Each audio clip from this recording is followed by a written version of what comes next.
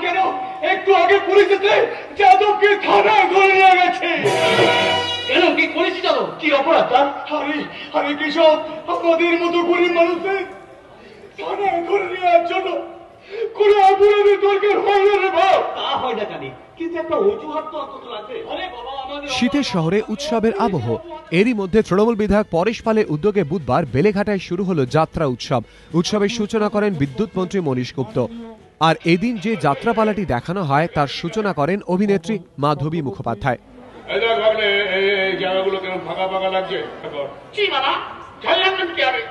আমি? তো সারা ভরিয়ে দিয়েছি। বাড়ির প্রত্যেকটা ঘরে ঘরে আলো লাগিয়ে দিয়েছি নবৎকানায় ডিস্কো লাইট ফিট করে দিয়েছি আর বাগানের প্রত্যেকটা গাছে গাছে। গাছে গাছে কি গাছে? সর্বনাশ আমার সমস্ত গাছের ডালপালা কেটে ফেলেছিস।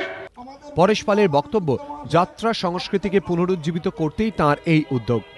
বাংলার সংস্কৃতি হচ্ছে আমাদের যাত্রা সংস্কৃতি কবি গান থিয়েটার সব সমস্ত জিনিসগুলোই আস্তে আস্তে হারিয়ে যাচ্ছিল। গভর্নমেন্টের সে আমরা আমাদের, আমার বেলেঘাটা, মানিকতলা মিলিয়ে আমরা পাঁচটা যাত্রা উৎসব করব।